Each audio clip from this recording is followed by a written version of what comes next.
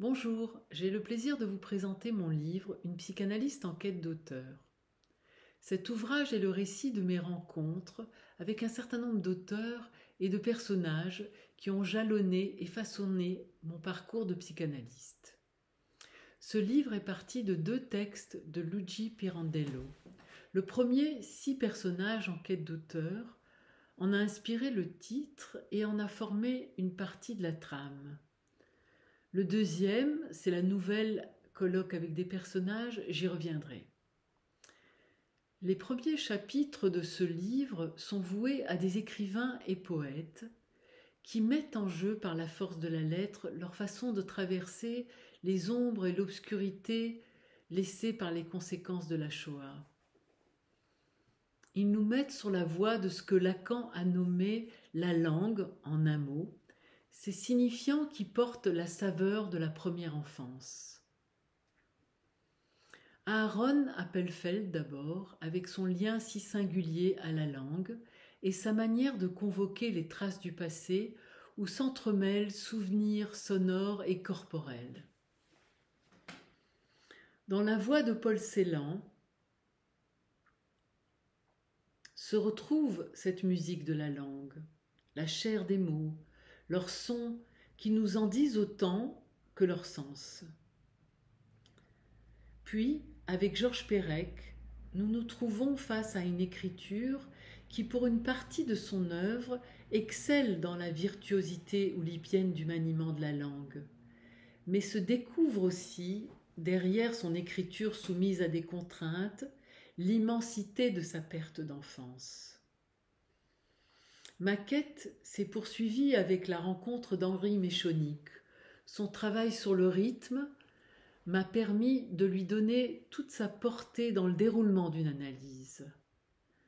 La voix de ces poètes, aujourd'hui très reconnue, m'a amené dans une deuxième partie à un questionnement sur la parole de femme prise dans l'aventure de la psychanalyse et la possibilité pour elle de se faire entendre, d'être entendue.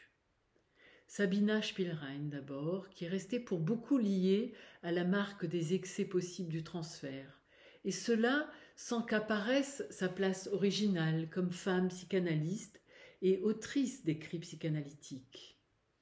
Ensuite, Margaret Hilferding, dont le nom a passablement été oublié, voire effacé, de l'histoire de la psychanalyse, alors qu'elle a été la première femme admise à la Société psychanalytique de Vienne, à laquelle elle a apporté des contributions.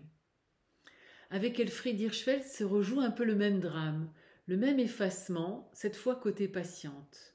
Pour celle qu'on nomme le sixième cas de Freud, s'il y a eu différentes plumes qui ont permis d'établir le cas, son histoire a aussi permis de mettre à jour les possibles impasses du transfert. C'est à partir de là que je me suis tournée vers un autre univers, celui du personnage de Diotime proche de Socrate. À la lumière de sa position dans la parole, je propose une façon autre, pas toute, non de diriger une cure, mais de l'accompagner.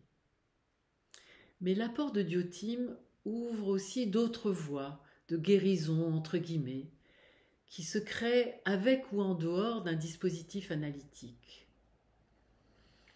C'est ce que m'a enseigné la lecture de la conférence sur le rituel du serpent de l'historien culturel Abby Warburg. L'histoire de cette expérience ouvre le champ de ce qu'il en est d'une parole performative. Dans ces chemins de guérison, il y a aussi l'art et sa part de sublimation. Avec Jean-Michel Basquiat, j'ai découvert que cette voie de la sublimation pouvait s'accompagner d'un appui sur la lettre.